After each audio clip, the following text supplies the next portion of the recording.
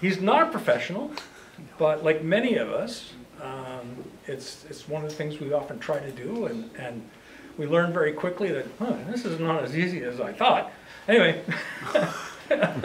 I've tried it too. It, the trouble is you run out of space. That's what happened to me. I, I, I did a, I did a bathroom, and it wasn't that big, but you run out of space because of the cabinets. Anyway, Kevin, away you go. Okay, good, thank you. Um, I'm Kevin Gordon. I recently moved to Ottawa three years ago, just on one of the COVID uh, early movers, so uh, um, I'll give a bit of a background. Um, Any woodworking I did probably started in Halifax for having bought the smallest house in the neighborhood I wanted to, and then found out that it was very hard to build, to put bedroom furniture in the bedrooms of a small 1950s bungalow. So right away, you couldn't go to a store to buy anything because anything you bought was too big to put in the room. So right away, that meant that I had to find some means to create bookcases and places to put clothes and stuff like that. So I started out, and along the way, I guess another thing that happened to me is uh, my daughter was involved in Ringette, and uh, we, for a short while in our life, were one of the uh, Canadian ringette manufacturers, of, uh, stick manufacturers out of my basement. And I learned about the economies of scale because we looked at going wholesale retail and uh, found out very quickly that we had to sell five times the number of sticks to make the same amount of profit. And at that stage, we said, not in our basement, not in a factory, and left that one behind. So when I had the opportunity to come to Ottawa, I had, uh, I decided, well, in my previous profession, I had to do something to jettison my colleagues, unfortunately, because they would be forever asking me to come back to Halifax to do some more work. So I enrolled in Algonquin and said, I'm busy for the whole year here, and you can't have me. And that nicely was able to jettison my contact with my colleagues. But it was, uh, as I said, filling in the blanks in a practical education of the stuff that you just don't learn unless somebody says you have to learn this. It usually used to be you learn the stuff you need as opposed to the stuff you didn't even know you needed. Like, I didn't know I needed an 18 gauge pin nailer, but the best tool ever as far as I'm concerned. So stuff of that nature. So that's my background. And uh, I, I thought I'd just sort of, one of the things I can add to the group, I, I, I said to Don the other day, I said, look, I have huge anxiety about, about talking about things I don't feel totally comfortable in talking about, but this is something I do feel comfortable in talking about, and so I thought I'd bring it as a project. Um, of course, as I'm talking to Wayne on the way here, I said, I didn't have photos as I was making it because I didn't have a plan to present it in this fashion, so it's lessons learned what went wrong as opposed to what went right. Um, and so we'll just get going on that. So if we, there we go. Okay. So it's really a lesson learned project. Uh, contact information there. This was the basement of the house that we purchased a year before moving to Ottawa. Uh, Wayne would know that there's an enclave of 1950s mid-century moderns built by Chalmers and they are very hard to get your hands on. So one came up. I was actually presenting the Canadian Soccer Association meeting in, in Quebec City, and our real estate agent said, you know one just hit the market. We said, why was that? And it was because it didn't have a garage. And we had to get in the car, blaze down. We got 20 minutes to see the house, purchased it the next day, and uh, sat idle for a year. And when I moved in, this is what I got in my basement. They had cats, so the carpets had to go. And it's a basement, so once the carpets go, you have to imagine what's on underneath that. And that bookcase, uh, this gable, right over here, I put counting at 56 nails to get the gable on to the side of the bookcase. I mean, and they were four, I, I counted four different types of nails, 56 nails to put it in place. Does that give you some idea about the handiwork involved in this project? so the first thing I felt good about doing is I tore the whole thing out and uh, it was beautiful pine and 1950s beautiful pine. So that entire thing uh, was cut up, run through an old planer, uh, and uh, is now molding, is a great big stack of lengths of molding for the basement when the project gets finished. So that's what I was looking at, and, uh, I, boys, I'm gonna come back a bit. The other thing, my dad was down, and he said, I had all of my drawings, and I had everything lined out, I said, Dad, this is what I'm gonna do, and he said, don't you think you should see what's behind the walls there, before you start putting cabinetry up on the wall? Yeah, one-eighth inch piece of, uh, you know, the classic uh, oak paneling, okay, with that black softwood clad board that's one under MDF, LDF. And that was it. And we wondered why it was so cold in the basement when we were watching the TV. So of course, the first thing I learned was you make all your estimates and then of course you find out what's behind the walls and the project got three times the size because all of a sudden you got to take it all out, you got to put a proper wall up in place and you've got to insulate accordingly and that of course now my room shrank by the size of my walls. So again, the calculations all had to be redone. Now, we all have project requests. I don't know where these come from, but I think many of you know where your project requests come from. And the requests were uh, 1950s kitchen. There was not enough cabinet space in the kitchen, and like all good things, cabinet space should quit, I swear, about right here where you can reach it, not up there you have to go up on the ladder.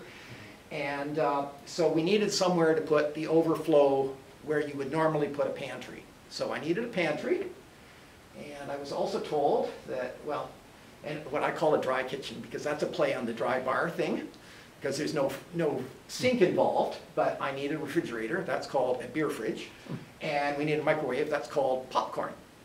And that was what was involved. And then we also knew that the previous renovations of the house had taken out a number of cabinets.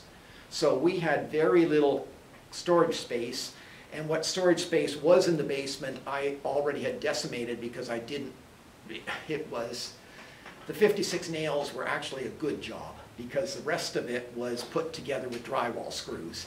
And it was very appealing to pull apart drywall screws that were storage space. So the model was we had to do double stacked Rubbermaid tough roughneck totes. And they are a little higher than a standard countertop. And another thing, I thought as I was just doing my final drawings up, I ought to check that they haven't changed the size of those things. Mm-hmm. Yes, they have. And in fact, the design I had would not have fit the two of the new ones stacked one on top of the other. So I missed that one just by thinking, surely they haven't changed, that the Rubbermaid totes are always the same size. Surely they would be the same size. But in fact, they are, that, that was the amount. And because the counter was high, I had to redesign the whole thing to raise it up a little bit further. So, um, it was a pencil and paper job. It was, uh, what I wanted to do is I scribbled it out and made some pictures in my book, as I've seen several other books here. And uh, ultimately, what I wanted to do was have all the door widths almost identical so it looked uniform across the, and I knew that if I wiggled it by a couple, and I'll tell you, I'm gonna, I'm very metric, by a couple of uh, millimeters or even centimeters, no one would notice the differences, but I got it pretty close.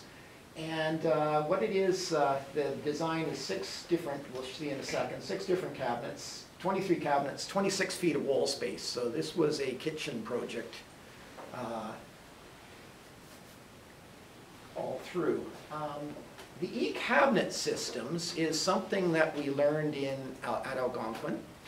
E-cabinet systems is the software that they use for their uh, CNC machine. I believe that, and, and yet, we weren't allowed access to CNC because uh, they couldn't, it because they were under restrictions for how many people they put in the room, so the whole thing was off limits to us. And that's what they did to teach the cabinetry layout and design. And this, I believe, if you write to those guys and you say, I might be in the market for a very expensive CNC, can you send me the software? They'll send you the software. And the software is absolutely brilliant from a design, layout, And it will go all the way to the point where you can actually populate the wood on the cabinets and put the lighting in the room and zoom in the room back and forth. So it's a very high-end program, but eh, eh, what I used it for was absolute bare bones basic because I had the outside width of the cabinets I wanted.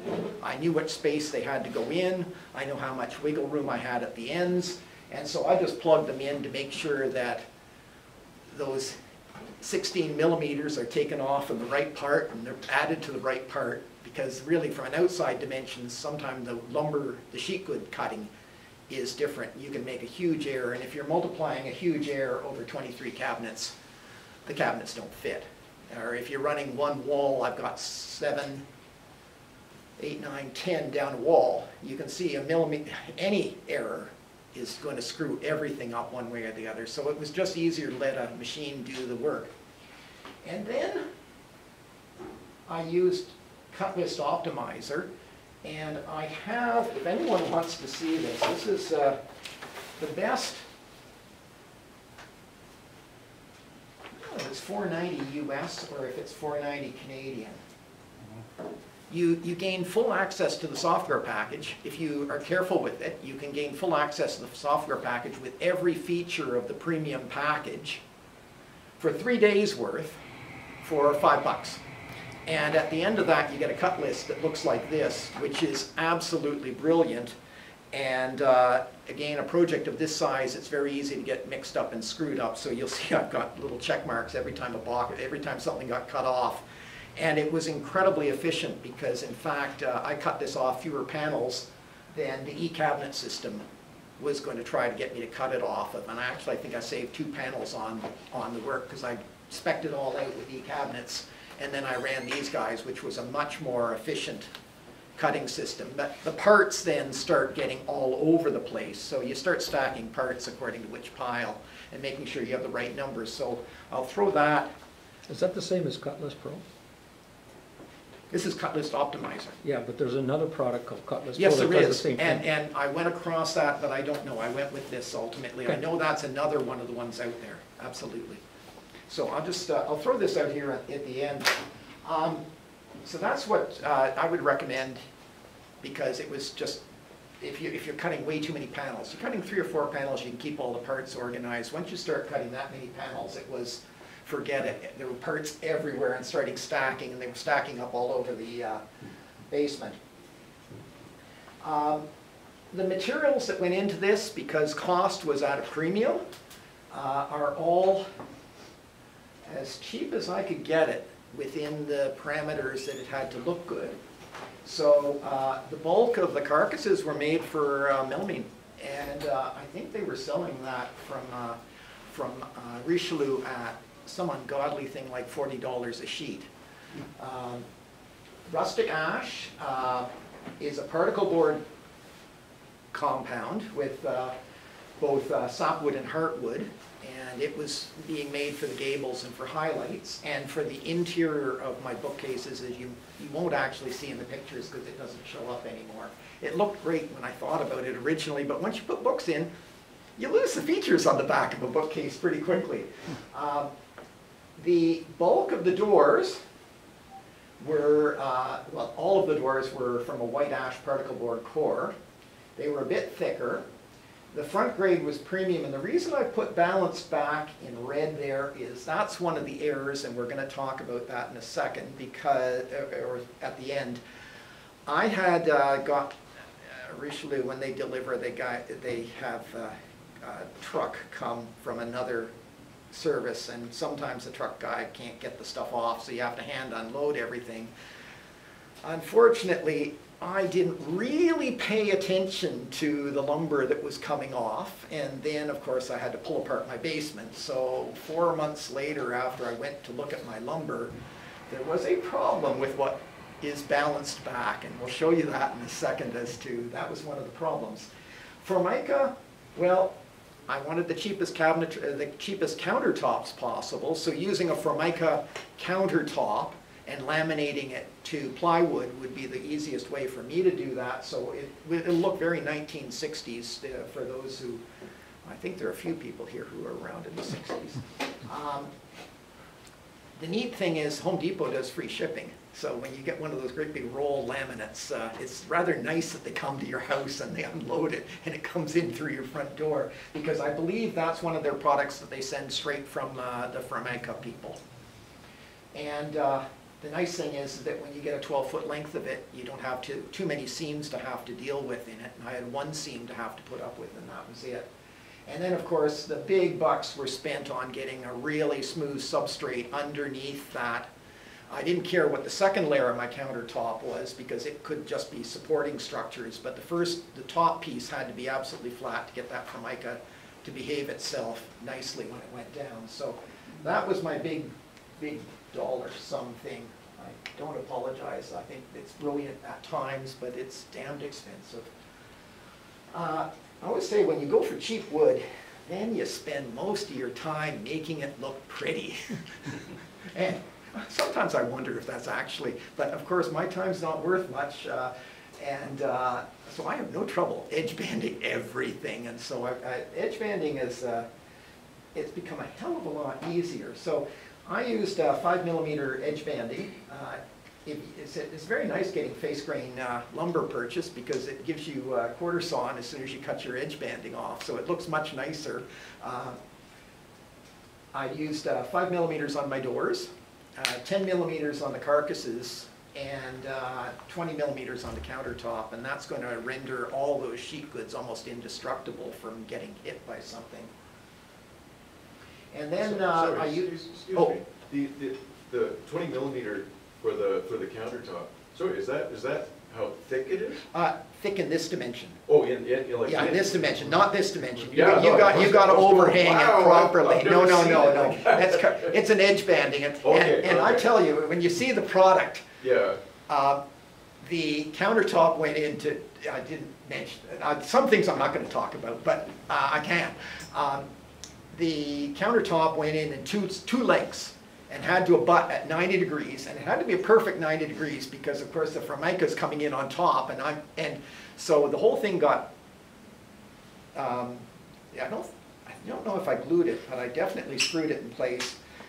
Put the formica on top, trim the formica off, and now we're edge banding a piece that is absolutely massively huge. So getting clamps across it and doing that, and then trimming that edge banding, 20 millimeters, was a nightmare because, of course, the router to get the, is, is in the vertical position. Hmm. I do not like that under any circumstances, to be routing in that dimension, and, uh, but it got down close enough, and it all came together in the end, so I guess it's okay.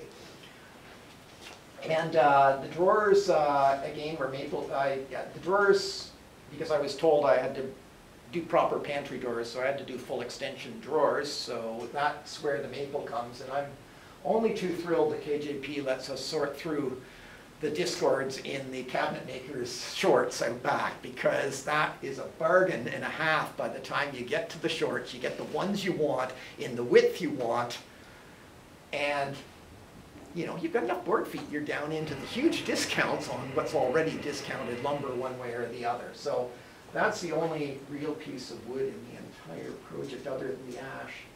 Now, I have been a devotee of the 32 millimeter, I don't know if you guys do, you know, 32, mi- okay, the 32 millimeter cabinet making system. Um, I made the point that when I moved to Ottawa, I was going entirely metric, uh, until I did the basement renovation, and I still do some measuring otherwise, because uh, it just works out with the lumber, but uh, I think the, the, the guts of 32 millimeters, I mean, there's some craziness where all your drawers have to be multiples of 32, like, forget that concept, okay? But the guts of it are that 37 millimeter backset on the 5 millimeter holes, which are drilled 32 millimeters away from one another. And they can be drilled in sequence, or you can skip some of them if you want the cabinets to look like, well, if you want them to look a little different, I don't say better, different. Um, So that, as far as I'm concerned, is all you need to know about the 32 millimeter cabinet making system. uh, With one qualifier which will show about those five millimeter holes. And this was the first time that I, as I said, drank the Kool-Aid. Because this project, I set out and I said, let's do the full 32 millimeters with the European hardware, hardware. And how does that change the entire thing? And, and I would say, for me personally, that was a game changer. I will never make another cabinet without using European hardware. Okay, and I brought some to show you what it looks like because it's weird. And you go, how is that any better? Well, once you've drilled those holes, the whole system starts coming together because the parts that are designed around five millimeter screw holes. And that's what uh, we'll be talking about. So, uh, yeah, the five millimeter holes, I mean, yeah, they, for years they've been there for the pins for me. You know, I put the pins in them. I, that's what they're, that was what they were designed for. That, that- no. Those five millimeter holes will accept European screws, which are those, that weird thing there, and you can see them up front. So I had, you know, years ago thought, well, what is this Pozidriv thing? So one of the Blum screwdrivers, and they drive Blum hardware, which have these peculiar little indentations. I don't know if you, I suspect you can drive that with any normal screwdriver, but that's what it's designed for. And the point is that this is designed for particle board. And once they go in, they are tougher than nails to get out. These are not normal screws. They, they are wild. The other nice thing is like, like Robertson screws, you put them on the end of the screwdriver and it stays there, so you can. Yeah, just- yeah. Yeah. Now, it, it'll be one step further than that as we, um, oh, yeah, well, it's probably time to talk about it now. I learned also in this process that, uh, Richelieu makes you buy the parts of the hinges separately. And look at this little friend. This has got two pre-mounted five millimeter screws ready to roll. So you don't even have to worry about keeping those things stuck onto your screw. You just slap that on, screw it in, it's done. And that went into the two five millimeter holes that are 32 millimeters. So you know that when you're doing your drawer, if you balance your 32 millimeters, the door, you just make sure that you balance these things at the right distance and you're off to the races. So the door will be at the right height. Um, Before I start losing parts here.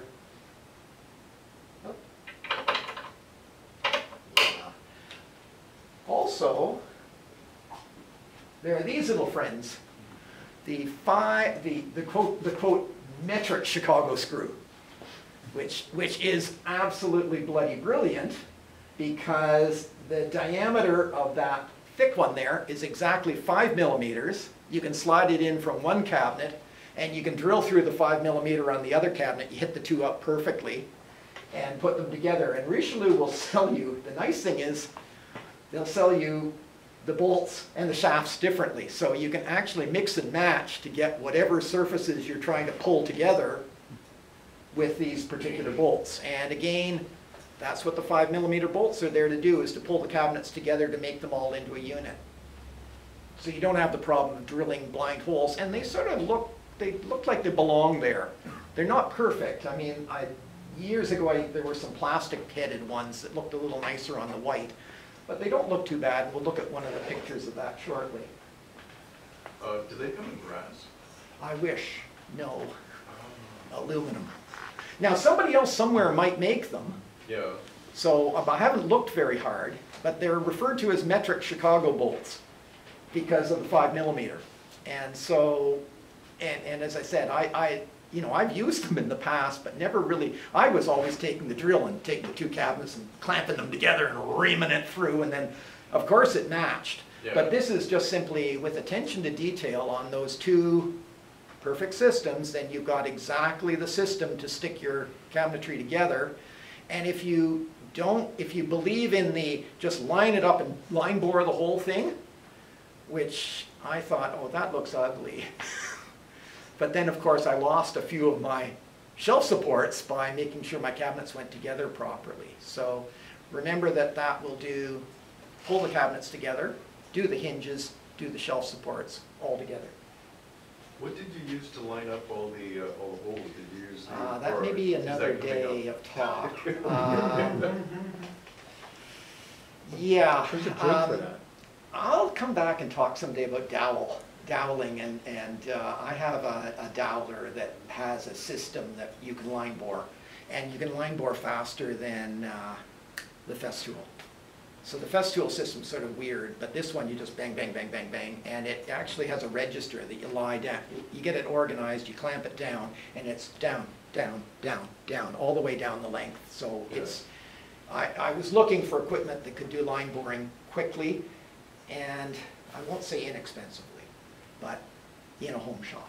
Yeah. So maybe, uh, I've been using the Lee Valley, I don't know, I don't even know what they call it, it's like two rails. I started with Lee Bars. Valley two rails. Yeah, I sold Lee Valley two rails. I then went to Dowelmax.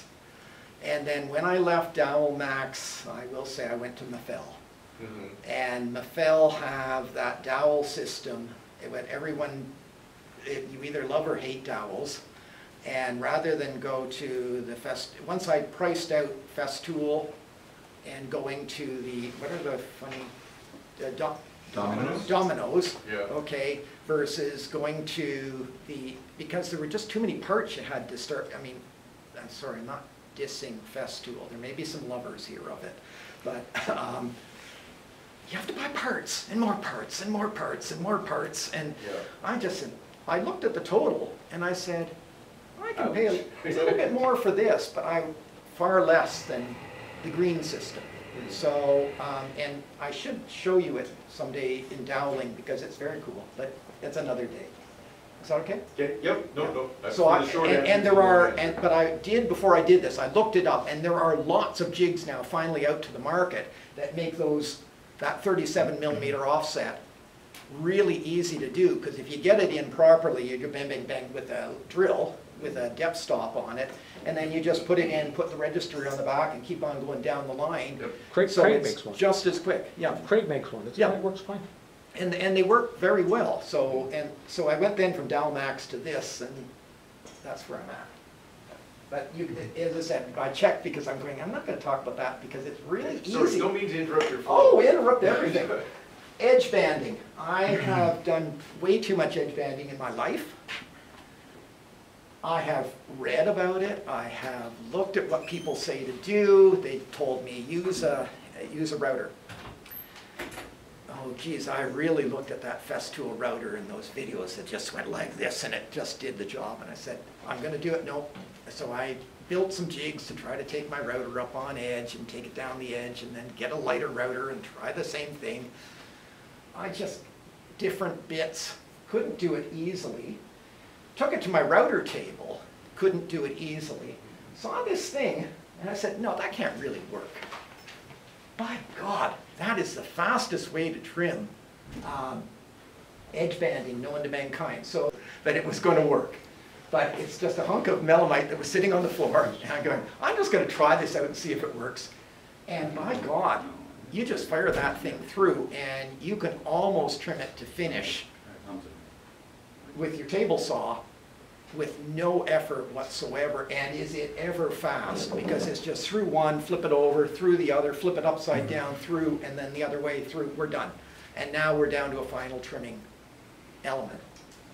So it's just a thickness, it's just a piece of melam, uh, melamine. Piece of melamine That's the thickness of, of your door, right? Or- So, so it, it just cuts away like that, Yeah, yeah. and you set the blade just slightly proud of the face here for whatever you want to feel like trimming off at the last minute. So if you get a burn mark, you got to leave enough that if you're going to burn it, you got to have enough, some people never burn it, okay.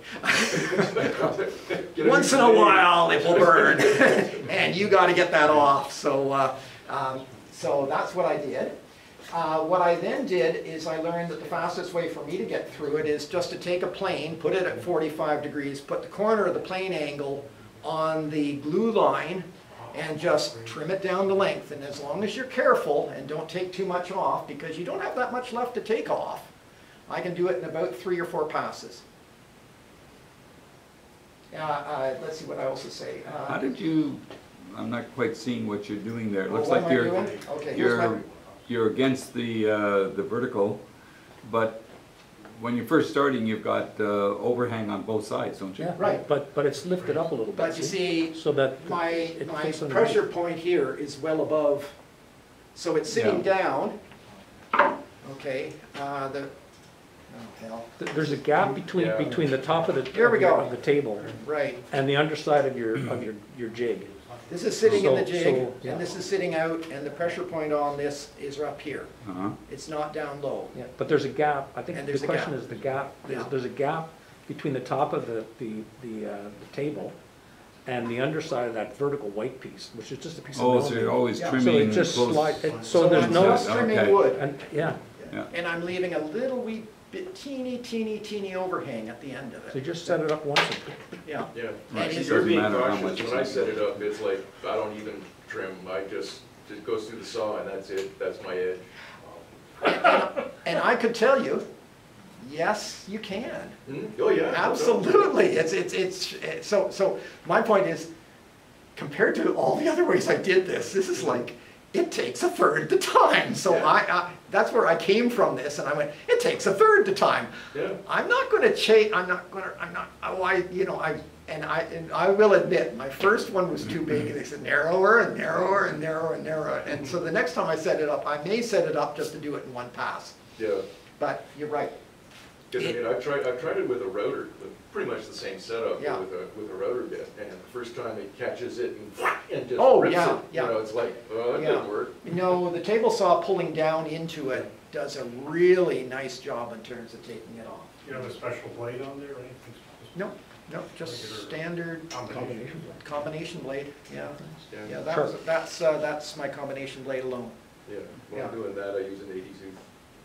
I don't use anything special, Yeah. yeah, just, um, oh, sorry. Um, What the hell, okay. it's really a rip cut, right? Yes, it's a rip cut. Uh, edge trimming, you just, I, I just take a flush, uh, trimming saw, which, uh, uh, followed by a trimming plane, just to take the, just to get it perfectly cut. For those other ones. Now, carcasses, um, okay, whatever. Tops and bottoms, eight millimeter glued dowels, okay? Back planted on, positioned and brad nailed. Who cares if your carcass is a little wonky initially, because once you brad nail it, it squares up completely. And uh, then uh, number eight, one and a third coarse thread screws, drill them position them, and if no one likes that, that is the Architectural Woodworking Institute quality standard. So that's what the architects are asking for in uh, planted on cabinet. And uh, I think, the one thing I've learned is uh, cabinets are completely overbuilt. You know, when you can start standing on your cabinets, you know, you should, they should wiggle. No, I don't think they should wiggle a bit, but, but the point is, I've got wasted cabinets in my, hou- eh, that we, I made them into stepping stools because they're so incredibly solidly built that they, that they don't do that. So that's, um, it's fast, it's easy, and no one knows any better. And it will hold up for presumably as long as I need it to hold up for. And that's the reference for that. So this is the installed product. Oh, oh, here we go. Okay, well, we're not gonna have the world's fastest uh, feedback here. Oh, it's an old is a movie. computer. It's swinging from one side to the other, and it's a little. George, it's your computer. It's, I know, it's years and years old. Okay? So that's the whole project from one side to the other. That's really Okay. nice. That's a really nice clean install. Uh, yeah, obsessive compulsive, okay?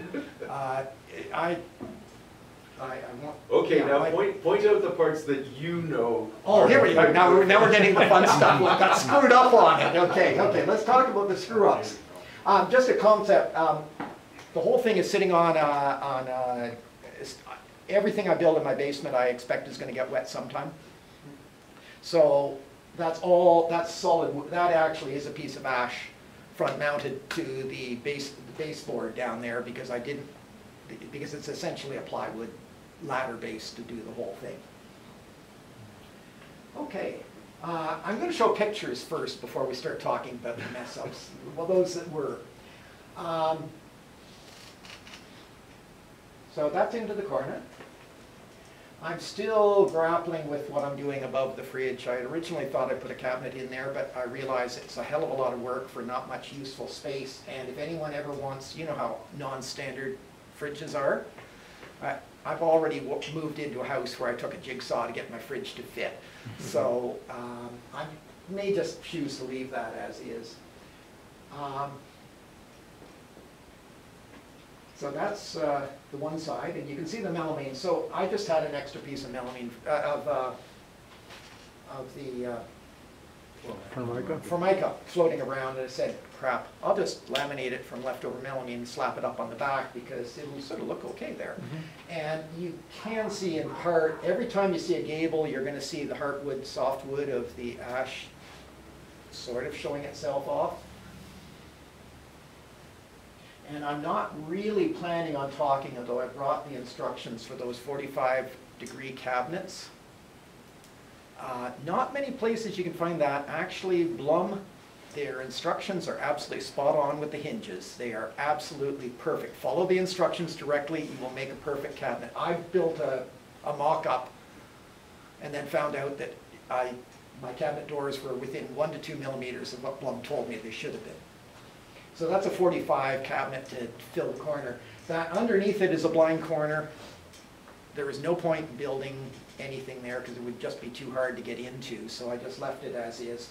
And I wish I had a picture of some, somebody actually for Hal, I don't know it's Halloween, they actually put a skeleton in the, it was brilliant. It was the blind corner, somebody put a skeleton in it, put the cap on the skeleton and sealed it off, just for somebody in the future. You, you, just, I'm, I'm wondering, I'm looking at this and I'm seeing the tops of the cabinet doors. Ah, and yes. One in the corner, Yeah, like, there's no, no threshold, no, no gap, no nothing. No, Don't they wind up sweeping the that's a ceiling? two millimeter gap, yes. Yeah, yeah, two Better you millimeters. than me. Two millimeters. They clean, they come across cleanly. You're No a brave one's, man. no one's putting crap on that countertop because it's just gonna Okay. get swept onto the floor. Um, Yeah, that's, um, par for the course in terms of, uh, I'm immediately drawn to this black thing, that's a camping gear hanging out on me. I should also say as I'm doing this, I really have a huge uh, recognition of the guys who do real estate photography. Because to take photographs of this, I was plastered up against the wall and I had my big lens open and my depth of focus is shit. So I apologize when you see stuff where some of it looks in focus and some isn't because those guys work really hard to get good looking photos of your houses. This was not easy and I already see here, look at that incredible distortion of those cabinets getting bigger as they go. So that was that. Um, I will show you why, uh, so this is try to be as clutter-free as possible, because it's storage stuff, so you don't want it, I was told I, we don't want to see storage stuff. So that's the extent of it, and the far side is a big storage unit, which is still being sorted out as to what's going in it. But you could easily haul, skis in there, you can't put uh, paddles in there, but skis certainly, or kayak paddles, as the case may be. This is the depth of focus problem. But yeah, that's a very small gap. And uh, that's, okay, it's a small gap. It's a small gap, yeah. Uh, There are the uh, gables with the, with the rustic ash in them. And that's really nice stuff. Uh, That is the, uh, is the, those three ba- bottoms are all pantries. There's an air coming with this too. And that's full extension drawers coming out. And those are the full extension soft closures, courtesy of this institution, which were the cheapest ones I could find that could do that.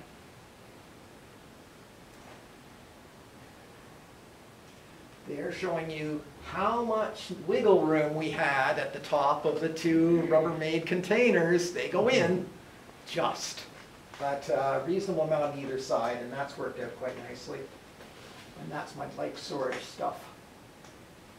This shows you why you cover up storage, because it is incredibly unsightly otherwise, so that that's the arts and crafts for the kids when they come over.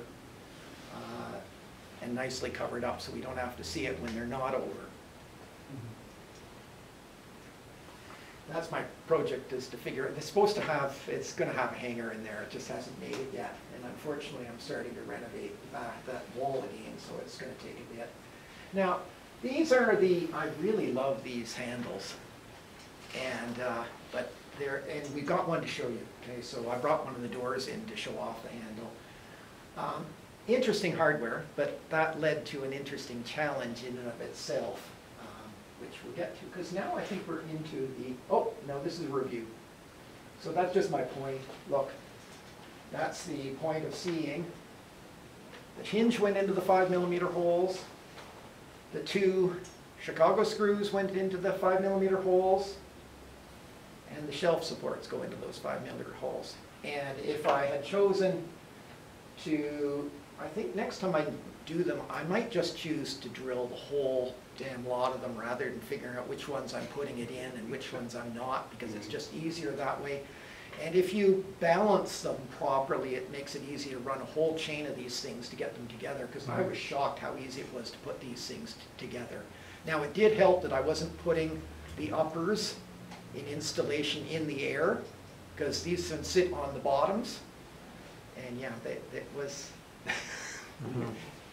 the biggest problem I had actually was getting all the cabinets to organize themselves down a run of six cabinets, eight cabinets. And that's when things got a little wonky. So, remember my problem. Here's the first one. So when I flipped that lumber upside down, that's what I found. Recognize it? Mm-hmm. That's the particle board core coming through. My, not too, well, it certainly wasn't expensive ash. It was less expensive looking ash. So what do you do? Well, I thought I could, okay, I'll get some, get some veneer and put it in. It's gonna- gonna look like shit. So, anything? Well, I mean, there's any number of things, you could fill the void with epoxy, flush Yeah. it.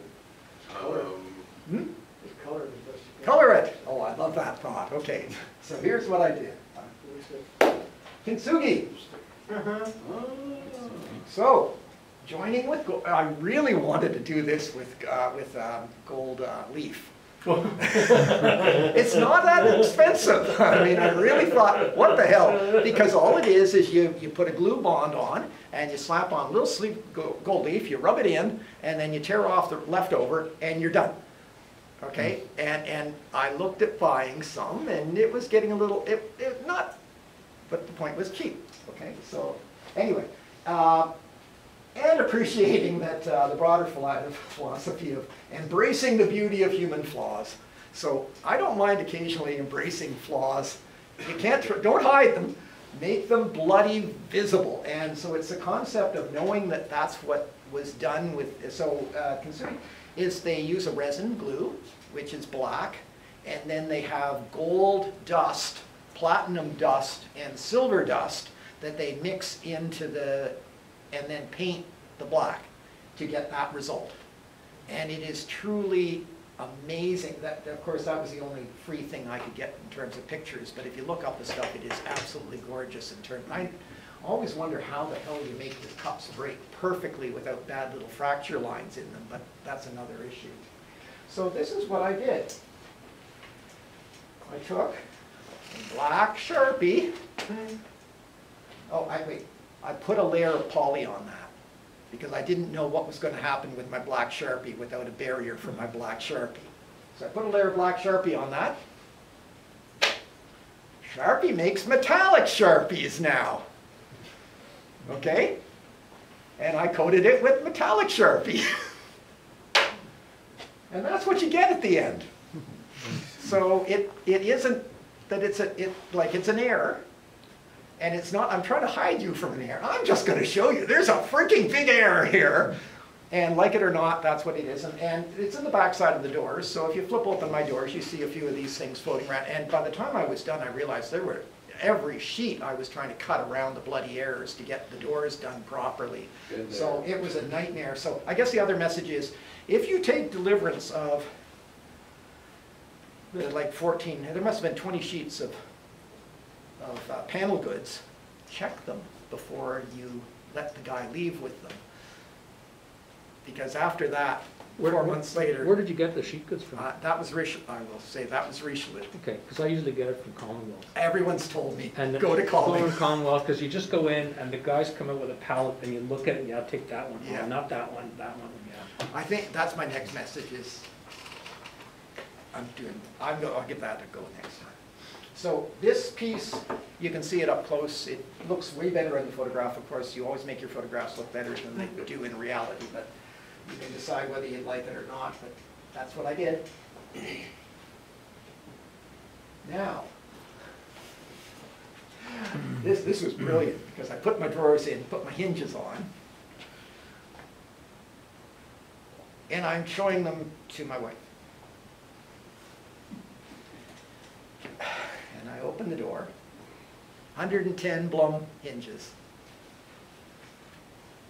110 Blum hinges don't clear the inner of the cabinet when they open up fully. And as you've got an idea for my clearances, I don't, they, I don't leave a whole lot to chance. Mm. Sheila said, you can't get the drawers out. So all my, all my drawers were binding on the hinges. So, um, I said, I can't be the only idiot who's done this in the world. And I started to look, and I came across the Blum 155 hinges, but then the Blum 155s take the door, and if you're running 110, all your doors turn to 110. The obsessive compulsive is coming out of here. Um, so instead of 110, you're running them all the way back to 150, and you can see from that tight little place, I don't need my doors going 150 because I've got a secondary problem of where the doors are hitting against. So ultimately, I found out that there's a 125 degree hinge that does the exact same job. And what it's called is it's a zero, you need zero protrusion when you have them, when you're running them like that. And you'll see a lot of workarounds. I looked at all the workarounds, they were all but ugly. So we're gonna show you this system in action here. So what it allows, it allows two things. It allows the door to clear the inside of the carcass. But the other thing is, I hadn't realized I planted on a gable onto that, and the door has to clear the gable too. So the door has two problems. It has to get out of the way of the inside and get around the outside, okay? And that's ultimately, uh, it was a better part of a day saying, surely somebody's had this problem before, surely there's a hinge out there that fixes this problem. And this should, hang on. Okay, it's gonna be a bit jerky, but that's life, okay? So there's the door clearing the outside gable, okay?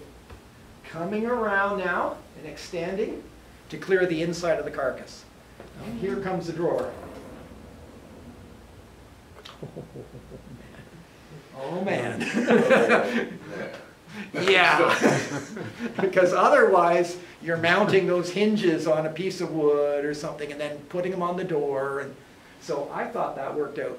You It- didn't, it- you didn't actually plan. that I didn't plan be Exactly the same depth as the inside of the drawer so that those cans don't wind up clipping the hinge as it's going by. No, okay. Okay, okay, translation, Say I, yes. I got Say yes. really lucky here. I got really, really lucky Okay. with No, this hinge yes. because, because I wasn't even aware that I had, until I put the hinge, I wasn't aware that I had the gable problem Hmm. looking me in the face. So, so at that stage, I just wanted to fix the one problem. And then when it started swinging out past the gable, I went, hallelujah. And then I'm sitting there and I looked at that and went, oh my God, it's not even gonna hit what's in the drawer. I know, like I'm looking at it, And- you got like a and so- millimeters clearance? But everyone, if you go home and you look at your pantries, somebody hasn't taken that as a solution for the pantry. And these, these hinges themselves, I mean, it was a nightmare. I knew they had to exist, so I had to look for the better part of a day to find that particular hinge. Now, in the end, it's in Richelieu's catalog, if you know what you're looking for, but that is the perfect hinge for that particular thing. And it makes the, it makes the pantries look good and function absolutely brilliantly. So, happy, um, Happy wife. Yes. Yes. Yes, Very happy in that regard, because her first one was, they don't come out. Now, then I'm gonna leave with the last one, which is, if you're gonna use these mounting things, they get in the way Right. because they're on the edge. And one of the errors I will tell you is that I thought I'd side mount, I originally wanted to bottom mount them. And then I tried to side mount, I side mounted on a couple doors and I said, this is not going to work out. So I went back to my original plan of top mounting the bottom ones and bottom mounting the top ones. And just to remind you that that hinge has volume. And if you're gonna have two doors, make sure that, not that hinge, that handle has volume. So if you're mounting two doors and swinging them, you gotta make sure that those don't hit one another. And that was one of the things I learned with this, is just be aware where your hardware is going, because you think, ah, the doors are on, let's just drill the hardware, and you're off to races. Well, this one is two doors in a corner, swinging out like this, and uh, get, get in the way of my hardware. So the nice thing is, in that location, I just shift it down a little wee bit, and it- it uh, cleared itself out quite nicely. So these are literally just screwed into the top, they're Uh, not, You they're got not them here, inside? this one has one. They're, so they're not, they're not incised into the wood? No, they're, uh, what To- you to do be is just, uh, Yeah, okay, flush out with a router, yeah, and uh, drill the screw from behind. And so really solid because they're pulling, they, they, they are very solid from a pulling perspective and they disappear. So when you look at that project, you don't see a single handle in it. I like not having to see handles if I can. It's hard to get a nice looking handle in my mind. Some people like their handles. I don't like to see handles if I can. Um, Did you, did you consider, um, I don't know what you call them, you know, the kind of hardware where you push on the door and the door pops open and? Expensive. Really? Well, a little, a little. A project Yeah, I've considered, I considered it, um, one way or the other, yeah. Yeah, Yeah, I just, I think I, I I fell in love with these handles. oh, and, okay, uh, because I was gonna say, because and- like the, the, the Yeah. push-pull thing, got, got you written all over it. Sorry. So what did I bring in terms of if people want to see stuff, okay? Um, I have uh, front to end, the cut list thing that you get printed out if you need it, uh, the instructions about those 45 degree cabinets, that, that's the extent of everything on the internet that I could find. I've got a baggie of the European screws and the uh, appropriate screwdriver for them just in case you ever want to see Sharpies, I'm sure you've seen Sharpies before. The reminder that uh, every piece of hardware is, and you can tell which ones are the 32 millimeter system because they're the big mothering holes there because that's for the 5 millimeter screw. So you see you put one line there, one line there, one line there, and if you're building a pantry, you can put those shelves anywhere you want because they'll go up and down like that. So every one of those shelves in there can be moved to a different location within the confines of the depth of the drawer because it's been built on the 32 system. Okay. I brought one of the doors, which is, there we go, right side up. It has the conventional 110 hinge on the top with the 5 millimeter mounting system. This, if you play with, it's a wild one, okay, just to see, it's hard to visualize what it does without seeing it on the, on the, this is the, uh, the the 120 zero protrusion system. That's the handle on that end, and that is the void. Actually, it looks all right. Yeah. It's not bad. That's I- just you know, Sharpie. For, for a Sharpie. I mean, now you can get metallic sharper too if you want to pay the real price for the oil version. I don't know if it, I bought it. I don't know if it does a better job because I was sort of happy with what this did. So I'll throw that out as well.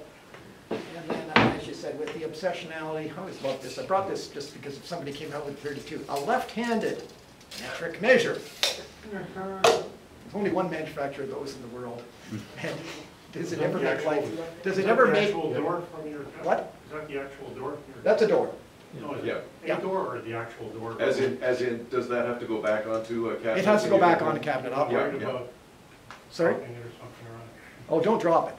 Oh, am I worried about dropping it? Well, you brought your Sharpies, it's okay. Yeah, I'll just sharp, I'll just sharpie the whole up. Well, you know, no, it'll, it'll be fine. It, it's, it's tough stuff. So I'll put it over here and put the rest of stuff. Any questions or? Okay. I, uh, let's So all, all that hardware you can get from, from um, Commonwealth. And it's Yeah. way cheaper. Oh, jeez, now you're, you're just rubbing it in there. No, it's, yeah, because Yeah. you just, you just set up a- an account and. Yeah, so set, right? obviously Commonwealth is a better option than, uh, than Richelieu. Now, the other thing I've learned is that Richelieu ships everything from Montreal by sheet goods, which means I take a hell of a beating if I order anything, so. Does Commonwealth deliver? I'm not sure. I have a pickup truck, so I just go and get it. Com- Commonwealth delivers. So they- yeah. nice. So that's all I have to say, and uh, I hope we can see ash in the future, but we have my friend, the uh, borer out there, which is uh, unfortunately made the world a different place. Question, sure. Um, you don't have to answer this. Oops. You